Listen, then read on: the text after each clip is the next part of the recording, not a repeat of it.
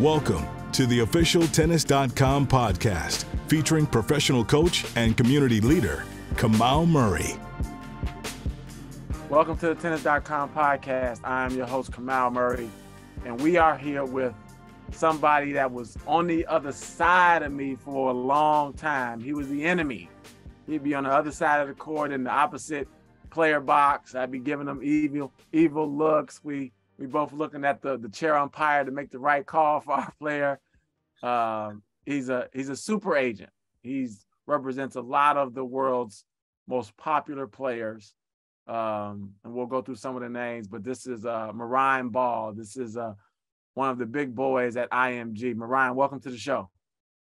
Thanks, Kamau. I appreciate it. Uh, you're getting me all rattled up when you start talking like that. But I remember many of the battles I had against you and your players, but uh, always in good sport. And I had the oh. chance to work with you for a while, so not all too bad, right? Oh yeah, it's all good. I remember we were. It was the summer of 2017. It was like Kvitova, right? We played Kvitova like two tournaments in a row. Played Vika twice that, you know, twice, like maybe once that year and twice the next year. I was like, man, this dude is like on the other side of me too often. You know what I mean? The enemy. Yeah. And then we finally yeah. got a chance to work together. But that's a testament to you because those are two big names. Uh, Thanks, man. So, so tell me how you got into tennis because I always feel like tennis is the ultimate good old boys network. And if you don't know somebody, if you're not somebody's best friend, if you're like not a former NCAA champ, it's sort of hard to enter this sphere. How did you get into this sphere? Yeah, I mean, um, Kamau, first of all, thanks for having me. It's fun to talk to you uh, in this kind of capacity. Uh, you know, most of the times that we see each other, it's about coaching or either playing against each other or, you know, we work with each other. But uh, thank you for having me. Um, you know how you get in to answer your first question you're a little bit right you need to know somebody and you got to you know be in the circle and uh, you need a little luck that's for sure um, but I think you sometimes create your own luck. Um, to portray to myself, as you know, I'm Dutch, born and raised, and uh, I was a very mediocre uh, tennis player myself in juniors in Holland. Uh, no sign to ever become a professional of any kind, but I was good enough to play in college. So I uh, came to the U.S. in 2004. Uh, I got a scholarship to play Division two tennis. Um, I told my mom I was going to do it for six months and come back home and started the University of Amsterdam. And uh, nearly 19 years later, I'm still here. So didn't work quite out that way that I promised her at the time, but uh, I I did four years of college tennis, and then I was very very lucky. I got an unpaid summer internship at IMG in the summer of 2008. Um, no guarantees of a job whatsoever. Um, just a two month internship, and we'll see where the ship goes. And uh, at 5 p.m. on the Friday of the last week of my internship, when I was handing in my computer, I was getting to use those two months. They um, they set me down and they offered me a job as an assistant. So, uh, you know, I didn't even look at the paper. I didn't even care what I was going to get paid. I just wanted the opportunity. And um, I signed it right there on the dotted line. And um, yeah, that's how I started my career. I was an assistant for, you know, three, four years, learning the ropes um, of what it takes to be a tennis agent. Uh, and in our business, an assistant isn't someone that makes copies or brings coffee, but you're working with an agent or two agents for me at the time that you learn under and learn the business and um, you know after three four years they give you they give you the wings you know they think you know by the time you've proven that you understand how the business works you've built your relationships you've built your connections and then they say well go to this junior tournament and go sign the next uh, roger federer maria sharapova. And and so i did. So so tell us about because the internship with this generation i think you know you said unpaid internship right? And i could yeah. i could see a 19 or 21 year old thinking, all right, next, no thanks, right? I got to live in LA mm-hmm. for two months. I'm not going to make any money. I kind of like believe I deserve what I want right now. Tell me about the experience at the unpaid internship. At that point, were you making copies? Were you like ushering a player to photo shoot? Tell us about the unpaid version first, because I think to get in this door at a big firm like IMG, mm-hmm. it's like you hear about P. Diddy talks about how he started? And Kanye, and so few people are willing to sort of invest in themselves, right? Yeah. Tell us about that, that experience. Yeah, I mean, it's a good point that you're making because I think uh, today's generation is quite different than it was when I uh, did my internship in 2008, uh, which is nearly 15 years ago. And for me, it was all about just give me the opportunity let me put my little foot in the door and i will prove you that i'm the best thing that's ever going to happen to you. And i took that attitude into that internship. I i was uh, doing the internship at the img academy in bradenton um, and i was working i promise you i was working 19 hours a day. Not that they made me do that but i did it myself. I you know I was uh, rooming with a bunch of like the summer uh, coaches that were teaching tennis while I was working on the agency side um, and they were going out and partying every night and drinking and i was sitting in my little room that they assigned to me just till 4 a.m you know pumping out uh, ideas proposals uh, pitches sending emails and just trying to prove myself just to show them that i wasn't afraid of working hard that i was going to go to whatever limit it was going to take me to, to get there. And i guess that was the right call because at the end they offered me a job which was all i was ever dreaming of you know? Yeah and I think that's a testament because I find a lot of people who play college tennis, obviously with those with the with the the rooms that tennis puts you in, you can go work on Wall Street, right? It puts you in the best boardrooms in the world. It, it puts you in seats next to people who own their own firms. And I always encourage people, even if you are not going to go pro, stay as connected to this game as possible because this mm-hmm. is like the top tier of wealth and business people, this and golf, right, in the mm-hmm. world. And if you want to stay close to the game, I think one of the things we can do better as a sport is like have a college tennis to careers pipeline of all the jobs that exist in tennis, whether it's commentating, behind the camera, agency. So you talked about when you got first got a chance to get to become an agent, they send you to the junior tournament, like like Les Petits As and Eddie Herr and Orange Bowl, Easter Bowl. Tell me about that because I often, you know, I deal with a lot of juniors and they say, come out, you know, I'm top 50 in the world ITF, made a junior slam, won a couple rounds. How do I know? No one's coming and knocking on my door, right? To offer me half a million bucks, right? To try my hand at the tour. So when you go to junior tournaments now, and I, and I know you're like deep in the business, so you still keep a pulse on the next upcoming juniors as well what do you look for and what advice would you give to a parent that's like, I think my kid's good. They haven't won a junior slam, but they're in all four.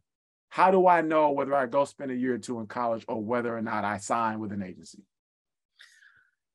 I mean, it's a fantastic question you're asking me. And I think it's actually twofold answer because I think you're weaving two questions into one, right? So first, let's look at from my perspective.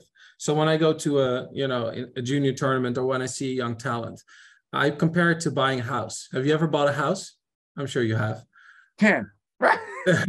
so, but you know, when you go buy a house, you're going to go visit a, a house or you're looking at 10 and it's like, okay, is this house in the right neighborhood does it have the right lighting does it have potential to if i invest some money in it to you know to build out to renovate and for me when i look at a player it's kind of the same question right is it in the neighborhood that i like is it surrounded by the people that i think are going to bring that player to the you know to the next level does that player have the potential just like my house have to that if i invest in it if i if I upgrade it, is it going to do better for me? Uh, is it in the, you know, does it have enough light? Does it have enough potential? That's, I compare it to really like buying a house. Uh, where is the house located in the right neighborhood? AKA, where's the player from? Like what, you know, what country are they from? Does it make sense? So there's a lot of those similarities that go into when you go in my field from my side of the table to go recruit a player. Now, the second part of your question is like, okay, so what if I am that player? And, you know, I've maybe done well in a couple of slams. I think you have to always be realistic with yourself because tennis is a very, very difficult sport to make to the top echelon. And as much as we want it, only a very small percentage of kids or young teenagers that we see that are, are have potential will ultimately end up making it, right? So you have to be you have to be honest with yourself first like is this what i want? Is or is it more what my parents want? Is this something where i think i can dedicate my life to? Because that's what it takes. And if you're not in a category and like you see many people and i'm a perfect example of that like i never had the potential to become a professional tennis player but i played college tennis in the us and i made an amazing career of it you know i have a, a fantastic job my dream job and it was only because as an eight year old, I started hitting against the yellow tennis ball. So many times I tell, you know, juniors or recruits that you know ask me the question do you think it's good for me? And if i'm not sure i will tell them that too and i say listen i think you have the chance but you know what? Maybe if you go to college for a year it'll give you a different perspective and maybe that is the better route for you. But of course if i see the next 12 year old or 13 year old or 14 year old that really has a potential like we're all in. Mm-hmm. so we talk about being all in right? Because you know there's like um you know a, a young tennis player who would need, you know, they're, they're kind of buddy. Maybe they're doing well in a few junior slams, doing, you know, wins Eddie Herr wins Orange Bowl, but they need financial assistance. Yeah. To, to really organize. I mean, you get so many people that like do well in juniors that don't have a mm-hmm. trainer, mm-hmm. don't really yeah. do any gym work. They're just winning these yeah. tournaments off of just racket skills, right? And the mom yeah. says, "Oh, well, if I had, you know, three hundred grand or four hundred grand, I could get a real mm-hmm. team. I could get a trainer. I could move to Florida, California, wherever. So, what type? How do? What's a good deal, right? Because agencies also give players an upfront investment, which obviously we're going to invest money in you, give you this cash.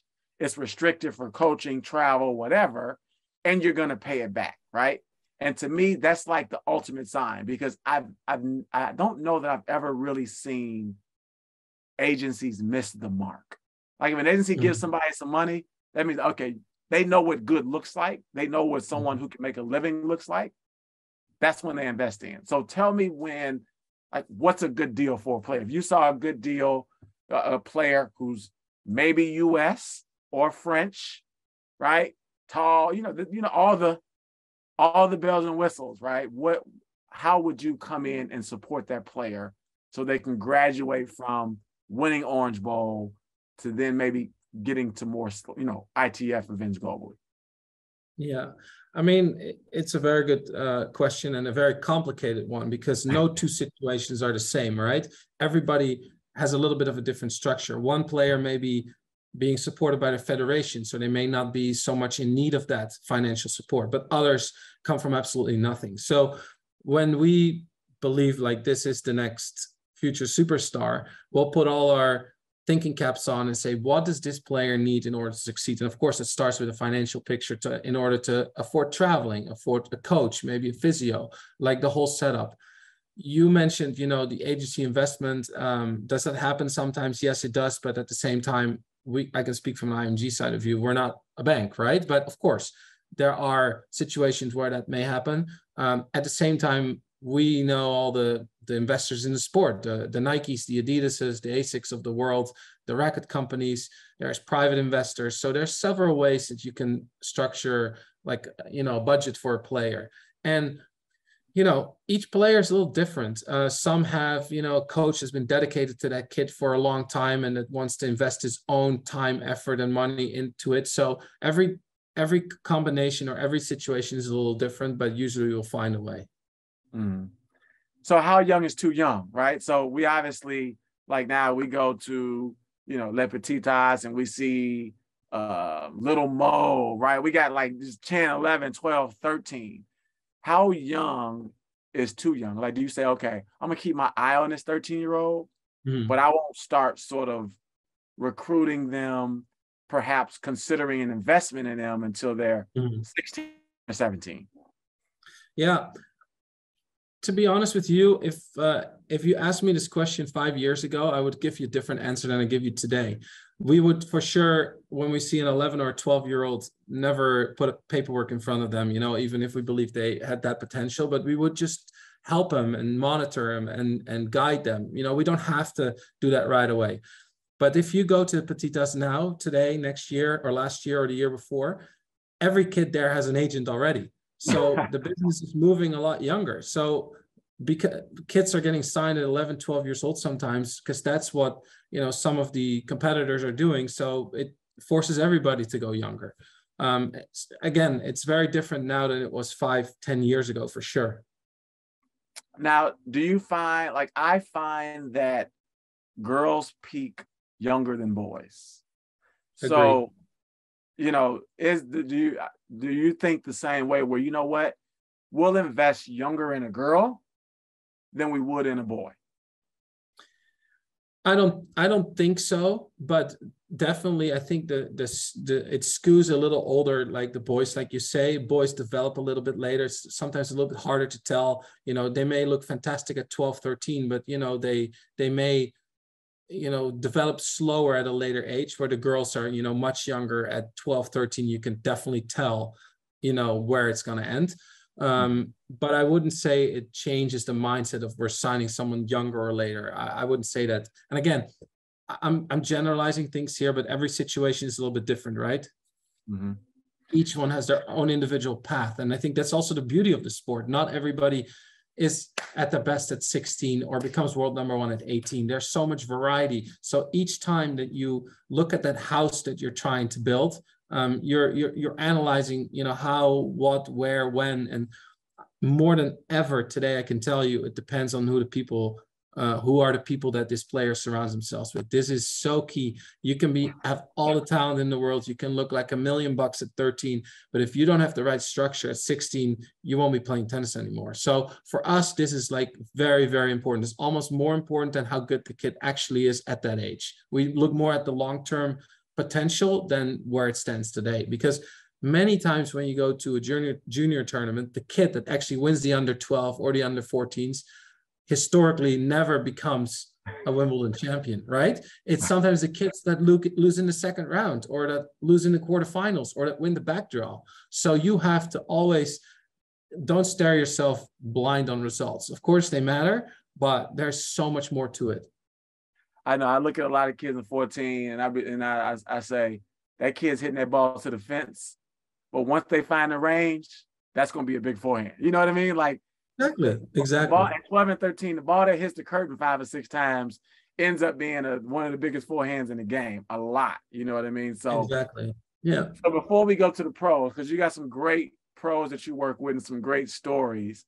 Uh, NIL, right? You know, college tennis used to be like a death sentence to a, a pro tennis career, right? It was like, oh, you going to college, yeah. you're done. But we've seen yeah.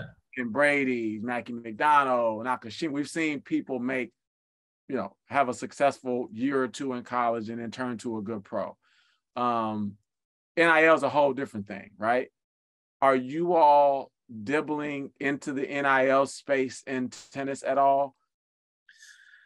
I would say um, we, in particular, uh, are are looking at it. Let's call it that way. I don't think the NIL uh, rules and regulation changes for uh, for tennis or for sports in general have had such a big effect on tennis just yet. I think uh, you know basketball obviously and football have a lot more potential and impact on that. I think NIL and tennis is has a potential, but I don't think it's as active and and and and on the forefront of what we're trying to do yet as much as it in the other sports. Hmm. Because I think the college tennis path is still very much the same as the John Isner days, and you know, it's a it's a development school where you know some will make the way through and actually get better and others come to realization that that's their plateau. So i don't we don't see that nil is changing that just yet as much as it does in other sports. Yeah. So you're live from turin. Yeah. At the Nitto atp finals and you're mm-hmm. there with casper ruud. Yeah. Um, and when i think about casper ruud i think about somebody we had heard about right? Obviously he's got tennis pedigree right? Mm-hmm we had heard about him, but he got really good really fast. Yeah. So tell me about, and obviously when I think about you, I think about Bencic, Azarenka, Kvitova, Puig. Tell me about a wild ride. Like I personally can think about some wild rides. I think of like US Open run in 2017. I think about Miami, you know, 2018 Miami. I think of just some some weeks or two weeks where it was just like, holy what is going on, right? And like you're like in this, and I think the player sort of lost in just the matches, but mm-hmm. the team, the agent, the coach, the parents looking like, holy, shit, we like this. This is special, right? Tell me about like, can you can you take me to a week or two weeks with a player where it was just a wild, life changing ride for the player? Uh, well, I, I have a few. It's hard to pick, and and I mean these stories are endless, so it could fill like three hours of your podcast with that. But um, a few that come to mind. I mean, Monica Puig in 2016 at the Rio Olympics. Um, I'm sure you can imagine what that looked like. Uh, what comes to mind uh, really special was Petra Kvitova in January 2019 Australian Open final to play against Naomi Osaka after what happened to Petra in at the end of 16 with the hand and who knows if she was ever going to touch a racket again and she played the, the final in Australia against Naomi for world number one. The winner of that match was going to be world number one for the first time and win the Australian Open for the first time. Um, so that you know that was actually you know from an emotional standpoint like one of the wildest rides I've ever been on. I, I don't think I slept for 72 hours before she won the semis and then I didn't sleep until two days after the final. That's how much that you know goes in your head. Um, but then this, you know, and I come back to this year what Casper did, and that's how you led in the question. You know, the final at the French Open and then at the US Open, just just magical. Um, you know, I I saw Casper play for the first time when he was 15. Actually, um, I signed him when he was 16, and you know, like he he had he had a very different trajectory than some of the other guys had, and he steadily made his way up the rankings. And then this year was, you know, last year obviously he showed what he's capable of, and this year was just totally off the charts and he deserves everything he's done. He, him and his team have worked so incredibly hard and so diligent and talking about a great environment. What I just talked told you about young players. I mean, just top notch in every every part of part of the way. You know, and everybody I think had the had the idea he has a potential to do well at the French Open, maybe win it one year. And you know, he did that this year, making the final against his idol Rafa. Um, and then in, in New York, you know, making that run and playing against Carlos again, uh, going back to 19 was, you know, winner of the US Open final was going to be world number one and win, win that Grand Slam. And, you know, you have set points in the third set and, you know, you're feeling pretty good about yourself when you're sitting there and when that happens. Uh, and then, and then, you know, it doesn't happen. So, you know, those are, those are you know, those are very, you know, emotional roller coasters you go through. But, um, yeah, so it's, it's just, I'm, I'm very lucky. I'm very privileged. It's, you know, I, I love my job. I I will ne- I never wake up in the morning uh, thinking like I'm going to work. I'm always excited about what the day has ahead of me because I get to work with amazing athletes, with amazing people that do amazing things, and I'm just very lucky to help them enable to reach their full potential. You know, in in in doing that. So yeah, there there've been there've been some wild rides, and these are just some highlights. So when I think about like a two week slam, right? Let's say someone's you know perhaps uh, the first, right? Like Casper, mm-hmm. let's say French Open. Yeah. And you know, I think about like the teams I've been on where we got to start deep and like, all right, after we get to week one, we got to have a meeting. The parent, the mm-hmm. agent, all right, let's have a meeting, right? Because mm-hmm. tell me, the phone starts ringing, right? When you get past week one of a slam, the player mm-hmm. for the mm-hmm. first time, right? The phone starts yeah. ringing yeah. the ticket requests go up. And I think, like, I know as a coach, I'm like, okay, all right, let's have a meeting. Player, go to your room. Parents, mm-hmm. boyfriend, trainer, agent. The draw's looking good. How do we not mess this up? Right? How do we make sure right. we manage what's, you know what I mean? So, yeah. at what point during like a slam does that phone start ringing from an agent standpoint, right? Well, your job's like, okay, now it's like I, I now I'm not sleeping because everything's happening. Now every family member wants to come. Now sponsors yeah. want to come, or potential sponsors want to come, or people yeah. offered us a deal. They want us to sign now. Do I really want to give them a contract before the round of 16, right? Or between the round of 16 and the quarter? Tell, tell me about like that. Um, the phone definitely starts ringing, as you said, at the beginning of the second week um, my philosophy is usually don't try to change something if you don't have to and keep it keep it the same. Definitely don't let the player know that there's so much going on right? Of course you let the parents and the coach you know in on you know all the things that are coming through and nailing it specifically to Casper obviously come from Norway which is not a tennis hotbed uh, by any means and it's more famous for its winter sports than anything else. Um, so you can only imagine how how how full the flights from uh, from Oslo to Paris were, you know, during that second week, and how many people actually came, which was fantastic. But yes, you have to you have to you know build a wall a little bit and try to hold off. You know, your phone is obviously ringing a lot. People want many things from you, uh, sponsors, potential sponsors, and um, in particular, when you get to the semis, you're getting the approval emails, which are the ones that I never want to see. It says if he wins the tournament, we would like to do this. Can you please approve that? You know, when I see that, I'm like, okay, that's bad karma. Can't be doing that. But, you know, I got to do my job because what happens if the final happens 10 minutes after the final? You know, that sponsor wants to put up that Instagram post and that congratulatory ad and it needs to be approved. So, you know, there's a, a lot goes through your head and there's a lot on your plate and you rarely sleep, as you probably know. Um, so those are those are hectic days, but we live and die for them. I wouldn't want it any any other way yeah, I, I, like when you get to the end, you start to meet with the coach and say, okay, look, this is an opportunity. We probably need to sign now, right? Before the final, right? Or before yep. the semis. Because if you lose it, yeah. then the number gets cut 25%.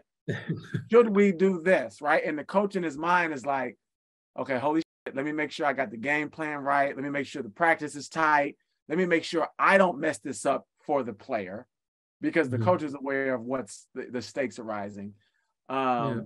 But how often does that happen where you got a deal and you like, I kind of need to like get this signed now because if we don't win this next match, it can go down 30%. But I kind of don't mm-hmm. want to give the contract to the player between matches.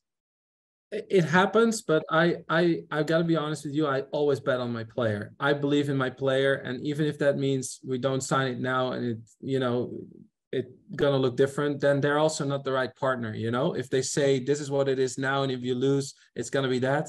That's not the right partner for me. You know, you're either in or out, not based. If someone makes a Grand Slam final, they shouldn't be penalized for something new that's coming. So I that conversation with me never sits very well if someone pushes me like that and i never make a player sign or agree to anything while they're in the tournament that opportunity will be there after the tournament and if it's not it's just not the right opportunity for you that's how i see it and if you do if you do well other opportunities are going to come so we don't need to rush yeah so let's talk about the service part of your job right i think that you know being a being a sports agent sounds very glamorous it does but you know there's this thing called whereabouts right? Where you've got to like input into the system everywhere your player is every day of the year so they can be drug tested and blah, blah, blah, blah, blah.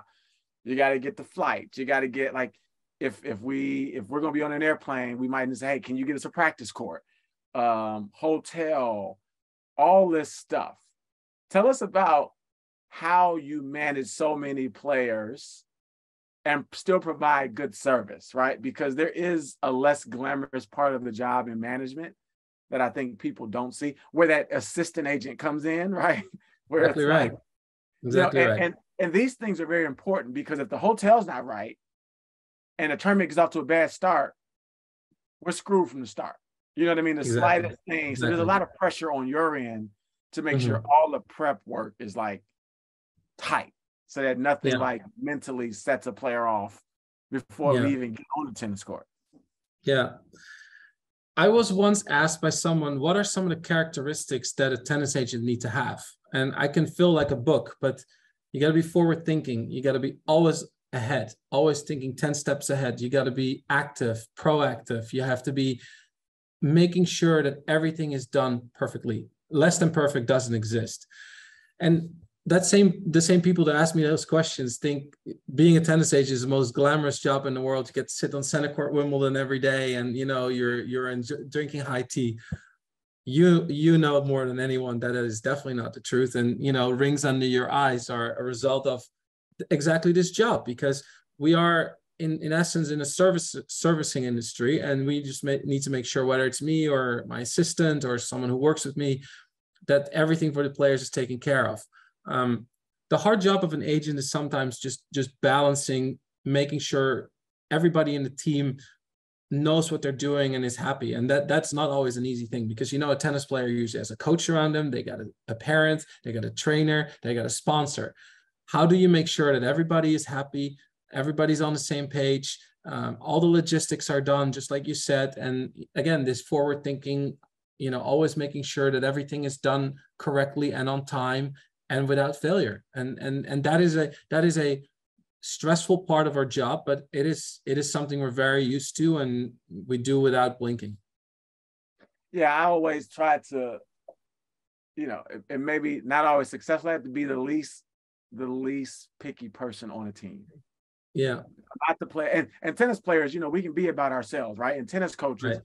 can get in their right. own have their own sort of level of ego. Right. But when you think about the player is like up here, right? Then you mm-hmm. got the parent of the player who's like really makes or breaks the team, right? They can mm-hmm. like, you know, sort of they this their kids, so they know how to like push buttons in their kid, and that can just.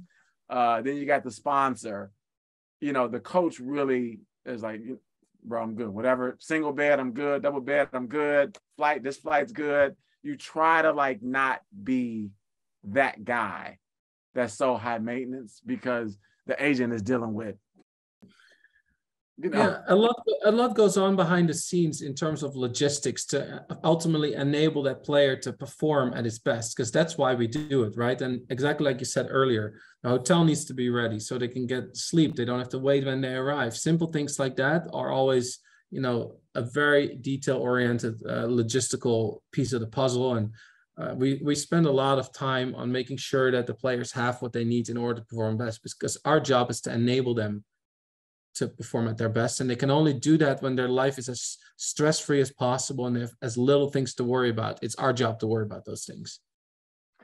So let's let's present a scenario where you have two of your players that are playing each other, quarter mm-hmm. of a slam. Which side do you sit on, or do you find a common seat up in the rafter somewhere?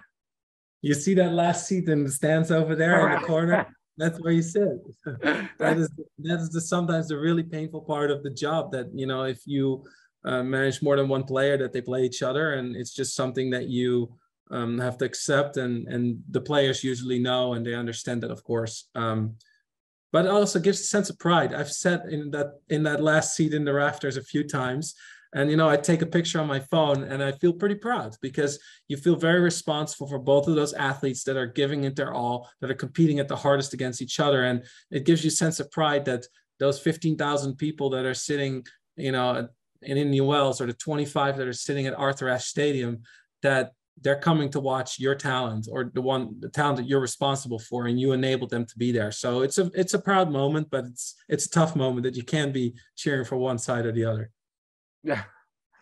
So when I think, you know, like I love tennis, right? And I and I love the business of tennis. But I also I also think that we are small enough where as a sport we should be more nimble. Right? When mm-hmm. I see other sports innovating quickly, whether it's from bringing in betting sponsors before tennis did, or bringing in like logos on core, like NBA, you got logos on the baseline now, right? Um, they've changed the way fans sit like near the scoreboard now, between the scoreboard and the bench, right? Where it's like mm-hmm. a few premium seats. I see other sports sort of evolving. Uh, and yeah. sometimes I see tennis being very traditional, right? And resistant yeah. to change. You know, what are one or two things? And I see it on the coaching side, I see I see a lot of professionals that are not players trying to find a way to make a good living in the sport mm-hmm. but struggling to do so. Right? Tennis coaches aren't making a million bucks. You know what I mean? So, but we want to stay close to the game, but you also have to feed your family. You know what I mean? Right. And I always right. look like if the sport continued to grow and evolve, everyone in the sport would benefit from it. And perhaps there are great minds, great coaches, great trainers that are choosing to work in other sports or work in a corporate America because tennis can't offer them the kind of living that even a corporate job can, right? Or you know, being an NBA trainer can. And so, what are some things you think we can do as a sport to sort of rise the tide so that all the you know all the ships can sort of make more money, be happier, um, maybe have some coaches and minds come back to the game. You know what I mean? Right. That maybe said, ah, you know, I can go make more money elsewhere. Right. I mean, first of all, you just said something that's music to my ears, and you're preaching to the uh, preaching to the choir, right? Uh, it's if we grow the sport, everybody's gonna fit, benefit. It's if we grow the pie, everybody's gonna get a bigger slice, right? So that's I think in any answer I give you or any anything you say is the ultimate goal here. Um, I have a pretty strong opinion on this, and that is we need to highlight and grow and market our biggest stars better. I mean, we have we have seen in men's tennis for 15 or 18 years now we've had these amazing guys that you know roger rafa novak andy that have really dominated the sport and really upgraded it we've had that for example in women's tennis as well but i feel like it ultimately starts with the product on the court when you're talking about the nba or you're talking about major league baseball or the nfl ultimately the growth starts with the product that you put on the field so i think it's our job as people that work in the industry to really nurture and grow our superstars, our young stars, in particular our young stars. I've been very active in, in that myself to try to help elevate and promote those young next generation up and comers because they're ultimately going to capture that young Gen Z audience that will help grow our sport. So for me, it really starts with the product on the court, on the field, and highlighting it, promoting it, growing it, crossovers. I love crossovers with other sports. You're seeing this in Formula One a lot. They do a lot of crossover with other sports, other talent. I think we in tennis can do a good, a better job at that. You know, uh, whether it's with other sports, whether it's with entertainment talent, there's so much potential to to use each other's audience and captivate new audience and captivate new people that don't know anything about sport about the sport. So for me, um, that's the most the two most important parts the crossovers and and growing and marketing and highlighting our super our young superstars mm, mm. so what what if somebody said you know we can only market roger novak rafa andy so much we need to mm-hmm. market or people need to get to know the people that are 40 and below right who right. are maybe from Croatia, from, you know, a, or a smaller country, right? Mm-hmm. And maybe we have them be ambassadors of that country. And I think, you know, there, there's that thought too, is that we need to market more people so that fans have the the opportunity to attach themselves or more options for attachment. Um, mm-hmm. Because what you're what you're saying is, I kind of agree with you. The NBA, in, Michael Jordan grew the NBA. Right. Period. Point blank. Magic Johnson, grew the NBA, right? LeBron James, like everyone knows, don't mess with LeBron. He, he's carrying the NBA, right? You know what I mean? Like Steph Curry, they do a great job at picking three or four guys that are going to carry the whole league. And they operate under a different set of rules. You know what I mean? Uh, mm. Even the NFL, like you better not injure Patrick Mahomes. Like you can right. you can tackle him or Tom Brady. You can tackle mm. him, but we're not trying to injure him and have him out for the season, right? And I think that mm-hmm. there's like unwritten rules where we protect the face of the brand. Mm-hmm. But you know, we've we need to do that better. But do we also need to maybe highlight who's next to get like that's a, my point. Yeah, that's exactly my point it it means that young uh, superstar. I, I, mean, I, I can tell you myself. Uh, I work with Linda Fruhvirtova. You know, who's 17 years old, won her first WTA tournament in the fall, is 65 in the world now. Um, you know, young superstar. Those kind of young players we need to highlight. They need to get an opportunity to play on a big court in front of a big audience, be on TV, because that's ultimately that's how people are going to see them. They don't want to see them for the first time when they're entering the top 10. I think they need to be seen when they are making their run in Miami, when they are making, and they're, they're getting those opportunities later in the tournament when they get to the stage of playing like a big player, uh, like Linda did in Miami this year. But I need they need to get those opportunities more often so that it, that we can capture that audience. That's not only live, but we live in a social media audience, right? So you know, on the social pages, they need to be highlighted. They need to be put front and center as much as those top 10 players do. They we need to use the the popularity of those players to to bring up the younger ones that ultimately are going to you know compete with them at that level or take their job take their job so to speak mm-hmm. um, i remember i don't know if you remember this i remember uh, monica was playing Swiatek, Swiatek, mm-hmm. and yeah. you, you brought them down you know tickets to watch the match courtside i think I look back like, who's this little girl in the box? and I think it was her, or it was one of them, either her. yeah, you're right. You're right. It was. It was that. You have good memory. Yes, it was. And I was like, "Oh, Ryan, this must be some." I set him. I, I set him in the row behind the player box. But again, yes. to my point, I did that because I wanted them to understand at a young age. I think Linda was maybe like 13 at the time. Mm-hmm. I wanted her to understand what it means to sit close, what to un, to see what the team does, to how uh, people interact and behave, just to to sniff it, you know, before they ever get to that stage. And it was pu- a pure educational thing I did, but good mm-hmm. good memory. Oh yeah, a good tennis coach doesn't forget a thing. I still mm. remember points that cost me money in the past, like, you know, seven, eight years. Like, damn, you know, if, if we had won that point, then she probably would have double faulted the next point and we would have, you know, made it two more rounds because the next round was a cupcake. I mean, like all these things go. I have through. a few of those. Oh man. well, I appreciate the time, man. You are you you know obviously one of the the great minds. You know, great player list with Bencic, Vika, uh, Petra Kvitova, Casper Ruud, Linda. So, you know, a lot of insight. And I think, you know, the agency piece is plays a big role in sort of the next generation in helping them think about their transition. Um, and I love the piece you touched on about who the player is around, because I think yeah. that the number one thing in tennis is the parent. I mean, like the student is like the pupil, but the client is the parent. Even at like 9, 10, 11 when the kid can like is hitting a, a freaking orange ball. It's like, how do I get the kid good but keep the parent happy so that they keep bringing the player and the parent doesn't feel like, ah, this is a waste of my time or ah, I don't want to invest in this, right? It's like you're managing all those things even at the junior level.